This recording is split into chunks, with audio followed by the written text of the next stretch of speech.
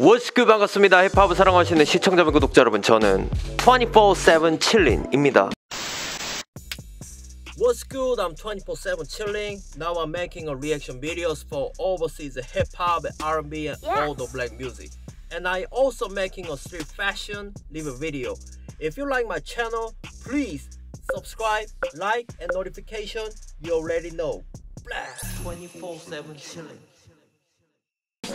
어 이번 주는 어, 군소르의 리액션 비디오를 한 편 더 찍어보기로 했습니다. 사실 이 리액션 비디오를 찍으려고 했는데 이 뮤직비디오가 나왔던 당시에 굉장히 제가 또 뭐 여러 가지 개인적인 일도 있고 해서 굉장히 바빴어요. 바빠서 이 비디오를 언젠가는 찍어야지라고 생각을 했다가 좀 시기를 많이 놓친 감은 있는데 아 저는 이 래퍼가 좀 이 래퍼의 vibe가 워낙 경이롭게 느껴지기 때문에 언젠가는 몇 년 안에 몽골을 대표하는 래퍼가 저는 될 수 있을 것 같다는 생각을 힙합을 좋아하는 외국인의 입장에서는 좀 느꼈어요. 군소르의 그 10월 3일에 업로드된 비디오인 Wheels를 보려고 합니다. 아, 이 곡도 제가 진짜 좋아하는 곡인데, 진짜 이 곡은 군소르가 의외로 막 레트로한 막 옛날 뭐 G-펑크나 붐베 스타일에서 막 자신의 막 그 트렌디한 랩을 들려주는 것도 굉장히 멋있었는데 이건 진짜 트렌디한 곡입니다. 그러니까 뭐 약간 저는 이 곡의 그 음악적인 영향을 생각을 해보면 뭐 릴 우지 버트나 플레이보이 카티 같은 이제 좀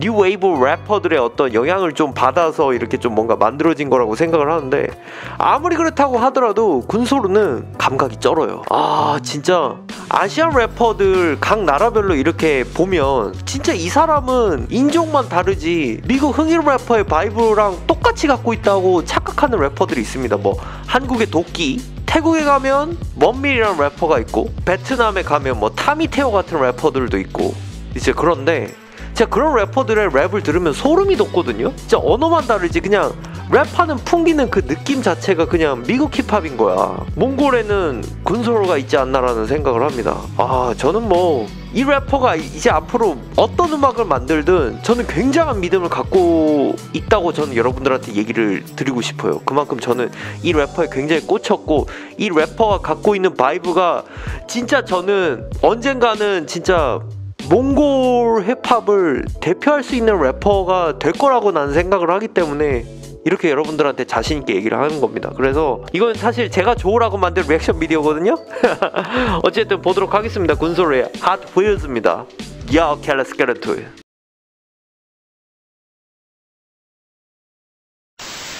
Yup, are you enjoying watching my video? Have you still not subscribed to my channel?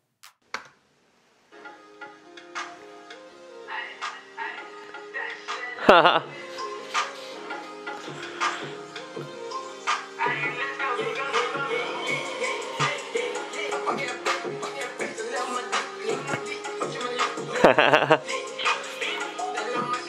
그 flow 보세요. 예, 예.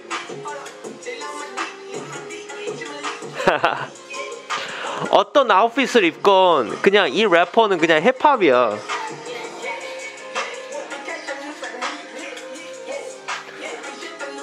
움직임이나 뭐 제스처나 flow나 아 이건 뭐 originality입니다.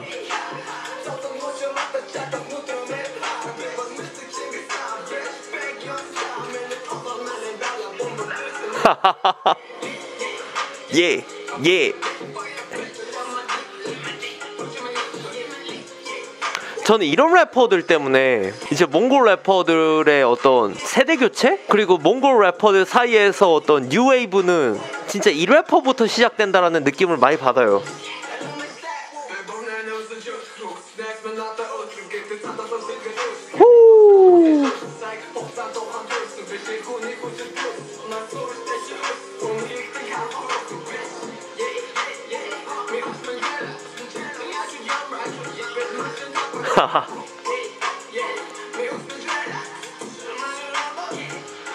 야 이런 감각을 어떻게 얻을 수 있지? 아니 어떻게 이런 감각을 얻을 수가 있을까?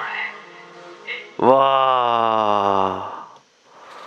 참, 이 래퍼는 음악 들을 때마다 경이로워요. 어디서 이런 skill과 vibe를 얻게 되었는지가 항상 되게 궁금한 부분인데, 어찌 됐든 제가 몽골 힙합 리액션 비디오를 결국 세어보니까 한 100편이 넘게 찍었더라고요. 그동안 100편 넘게 이렇게 몽골 힙합 뮤직비디오를 좀 봤다는 건데 어, 여느 래퍼들과 진짜 다른 vibe를 갖고 있습니다. 그게 뭐 각자만의 지향점이 있어서 이 래퍼가 가진 vibe가 다른 래퍼들의 vibe에 우위에 있다라고 얘기하는 건 아니지만 아니지만 이 래퍼가 가진 음악적 vibe는 다른 나라에서 힙합을 좋아하는 사람들도 좋아할 수밖에 없는 vibe를 가졌다는 거는 틀림없는 것 같아요. 제가 생각했을 때는 그만큼 미국 힙합을 지향하는 어떤 뭐 rapping 스타일이라든가 뭐 vibe라든가 굉장히 머릿속으로 잘 이해하고 뱉는 것 같아요. 한편으로는 약간의 뭐 동물적인 감각도 있다고 해야 될까요? 그래서 제가 이 래퍼를 볼 때마다 진짜 깜짝깜짝 놀라는 겁니다. 이런 래퍼들이 나오면 항상 이제 이런 말이 있죠. 뉴웨이브라는 말도 있고 세대 교체라는 말도 있, 있기 때문에 아마 이 래퍼는 몽골 힙합의 혁신을 가져올 것 같고 믿어 의심치 않아요. 진짜 잘합니다. 진짜 보통 잘하는 게 아니야. 이 래퍼는. 자 여러분들의 의견은 어떠신지 모르겠습니다. 의견이 있으신 분들은 댓글로 많이 남겨주시고 저희 24-7 챌린지 채널이 마음에 드시면 구독, 좋아요, 알람 설정을 해주세요. 저는 다음에도 재밌는 영상으로 다시 돌아올 수 있도록 하겠습니다 여러분. 감사합니다. Peace out. If you want to watch more videos,